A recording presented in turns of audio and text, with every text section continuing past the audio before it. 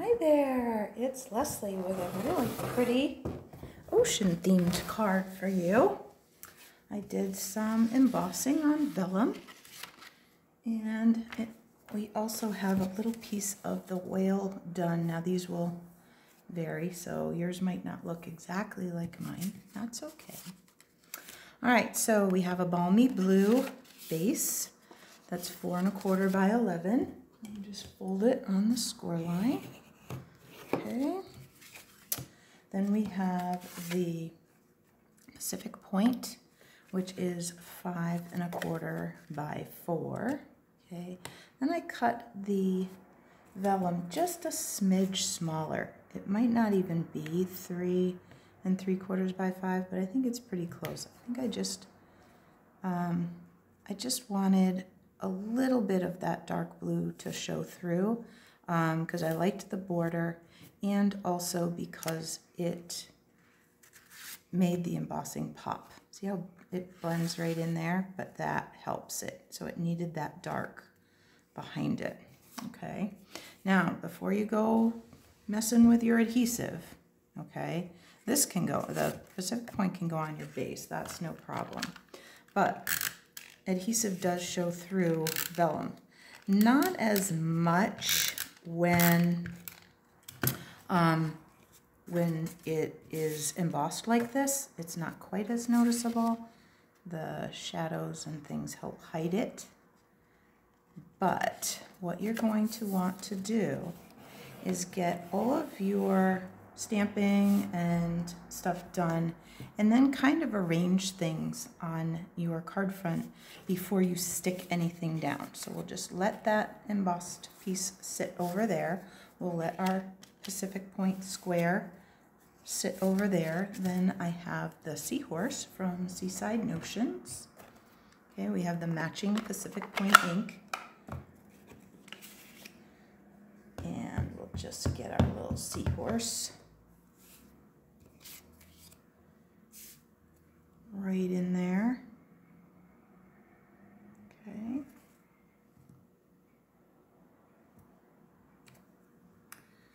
There he is in the water. Pacific Point might need to be re-inked, but that's okay. Then we have a piece of some basic white. Now you'll have a, you'll have this punch shape, I think. You might have something else. You might have the timeless label. I might have gotten them mixed up when I was sorting last night. I don't know. At any rate, all of the um, greetings in Seaside Notions. And there's with gratitude, thinking of you, happy birthday, here's to you.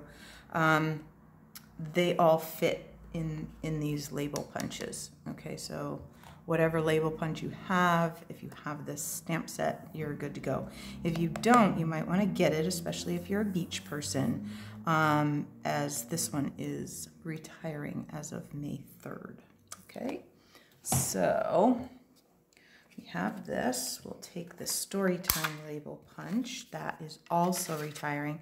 I did kind of focus on the things that will no longer be with us just so you could have a chance to get them if you wanted them. Okay. I don't think I actually... All right, so now, what we're going to do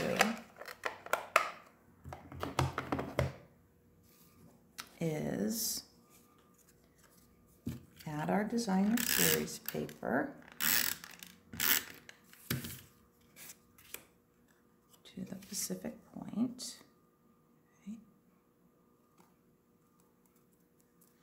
Then I'm going to just place this here, okay? Just kind of get it where I want it because I want to make sure that I like where I'm putting this, but also that it has room. And I actually could, and may need to. It, it's okay. This is so wiggly and stuff.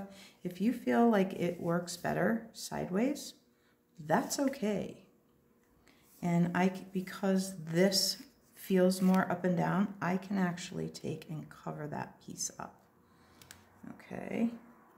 And I think I can still fit. Yep, I can. And that also helps to disguise those. So if you can make yours fit the other way and you like the look,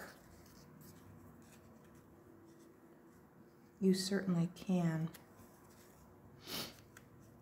make it go this way as well.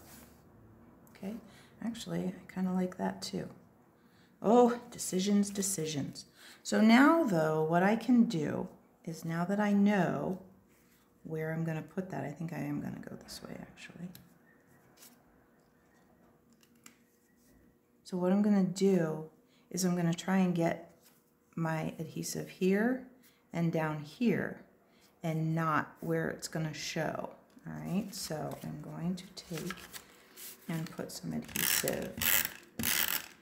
And you'll see when I do that what I mean. And then where did I want this again? Okay, up near these stems, I think.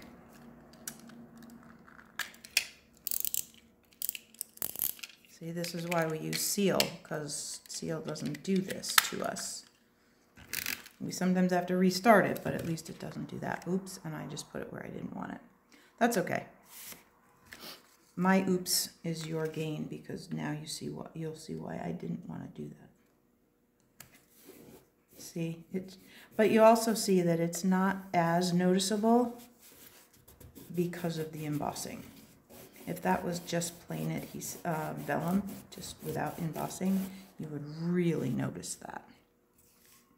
All right, so let's put this on with dimensionals, which I left on the other table. Hang on, I think. Maybe they're right here. No, of course they're not. Be right back. Don't go away. You just have to walk across the studio. There they are. Here we go. All right. I got out a fresh new pack, which meant I had three sheets, one for, well, almost one for each project. I'll have to probably open another one. So let's put some nice dimensionals on here. Don't ever feel like you need to be shy with your dimensionals because you don't want something arriving to somebody all squashed. Okay, I think that's enough. Anyway, definitely don't want that. That would not be good. Now you'll see what I'm going to do with my greeting piece. So I'm going to have my seahorse down here.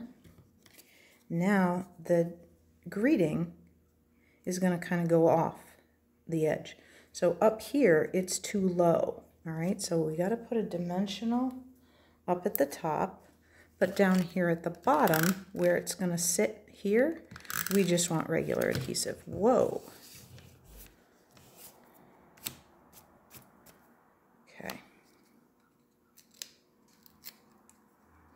So that way it will be nice and supported on both edges.